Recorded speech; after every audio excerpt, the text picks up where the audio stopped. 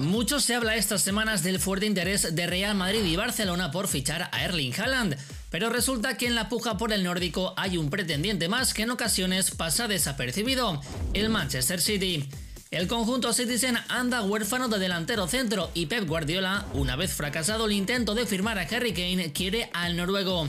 Al parecer, a la familia del jugador le gustaría verle en la liga, y en este sentido, el Real Madrid sería el destino ideal para su entorno pero en el Santiago Bernabéu tiene competencia con un Karim Benzema pletórico, justo lo que no tendrá en un City cuya vacante para 9 está libre. Es por ello que el Daily Mail asegura que la intención del equipo inglés es la de convertir a Haaland en el futbolista mejor pagado de la Premier para convencerle de que firme por los Sky Blue.